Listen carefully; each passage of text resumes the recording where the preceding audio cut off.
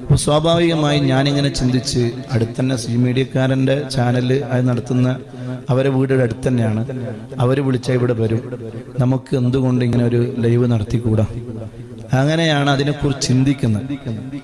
അങ്ങനെ എന്ത് പേരിടും? അങ്ങനെ ഉണ്ടല്ലോ ഒരു പരിപാടി തുടങ്ങുമ്പോൾ നല്ലൊരു ലാഹിക്കായ ഒരു പേരിടുക എന്നുള്ളത്.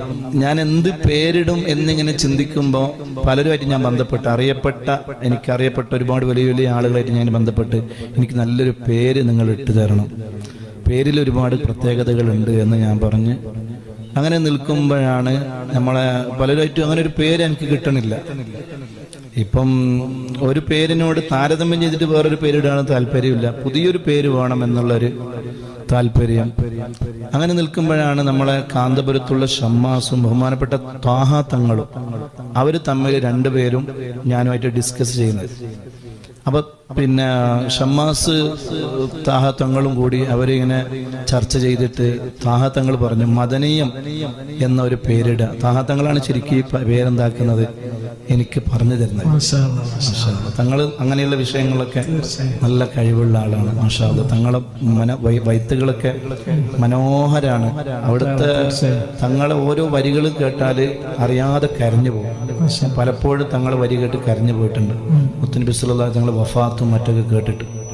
അപ്പൊ തങ്ങളാണ് യഥാർത്ഥത്തിൽ ഈ മദനീയം പേര് അങ്ങനെ ഒരു അതൊരു വെള്ളിയാഴ്ച രാവായിരുന്നു.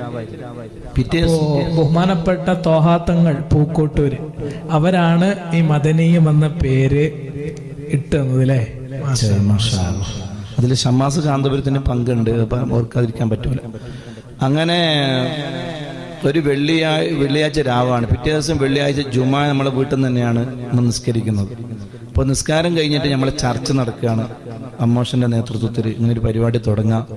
പേര് എന്താണ്? മദനീയം എന്ന് നമ്മൾ പറഞ്ഞ് തീരേണ്ട താമസം മദീനത്ത് ഒരു കോൾ വരാണ് അസമയത്ത് അത് വളരെ എനിക്ക് എന്തെന്നറി എന്തെന്നില്ലാത്ത ഒരു വല്ലാത്തൊരു അനുഭൂതിയായിരുന്നു ആ സമയത്ത്.